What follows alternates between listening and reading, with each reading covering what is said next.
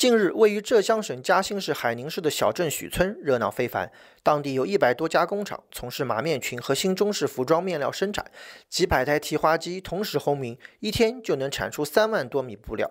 中国窗帘三分之一在许村，这个浙北小镇因生产织锦缎被面而发迹，后凭借家纺产品全国闻名，具备深厚的制造基础。张明强在当地经营一家家纺工厂，从2003年起至今已有21年时间。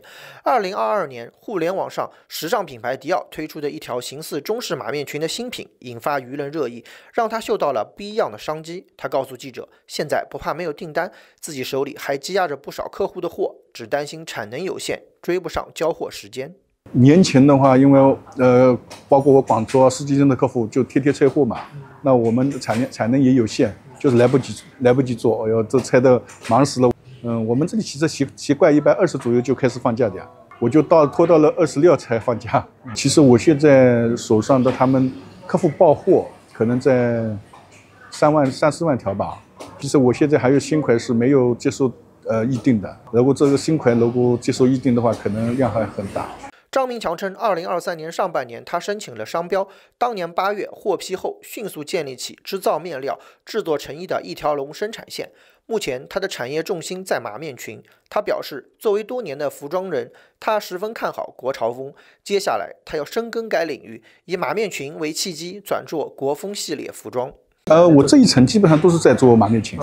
我我下面一层是做窗帘的，就柴总的窗帘，当然也还在做。因为毕竟一下子收收也不行嘛，我还有比客户大需要回货啊什么的，但我的重心就会投入到汉服这一块。现在我觉得啊，一个是我们国风这个这个类别，我觉得会很走很多年。它哪怕马面裙过了，它还会国风方向发展。我就做过八年服装，而且所以说我也是作为资深的一个服装人吧。其实我也在设计那个国风系列的上衣啊，呃，时装啊都在设计的。那我。其他的都会涉及。那如果马面裙这个风风风口慢慢过去，我我我可能走到那个国风系列的一一个一个类别吧。伴随国潮兴起，马面裙走上秀场，走进街头，其精致华美的面料只有大型提花机能做，老机器便派上了新用场。在许村人看来，产业趋势在此兜了个圈。马面裙爆火之后，当地开始静下心来思考如何让国潮之风吹得更久，推动传统产业良性迭代。许村镇副镇长马明刚在接受记者采访时表示，他们现在需要理性思考，不能让厂商一拥而上跟风。如何延长该镇产业的生命线，才是重中之重。一个呢，就是引导他们，就是不能盲目扩张啊，不能盲目扩张，因为这个风，他要自己要思考好这个事情到底能做多久。第二个呢，我们要走一步看三步。现在是马面前很火，那如果说这种风吹过来，我们接下来要怎么做？是不是转向这新中式？或者说其他我这传统产业这个我这个核心竞争力怎么来保持？第三个呢，我们这个两大板块，我们纺织板块现在有些转型做服装面料，我们的服装板块这两个企业怎么样良性的互动啊？把呃协同发展，提高核心竞争力，拉长产业线跟生命线，也是我们在努力的一个方向。在旁边的海宁春季家纺博览会上，许村特色马面裙也是掀起了一阵国潮采购风。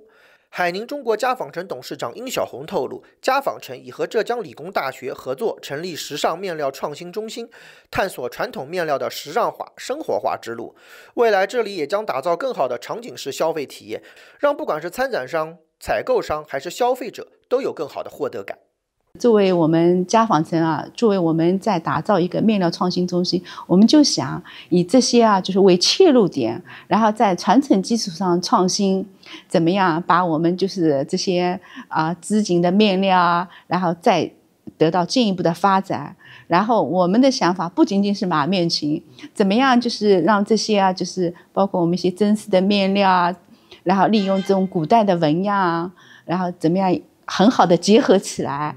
然后更广泛的应用在就是我们一般就是呃国民的穿着当中啊，那么我觉得我们要不断的丰富内涵，打造更多的场景式的体验，让消费者也好，让我们的参展商也好，采购商也好有更好的体验，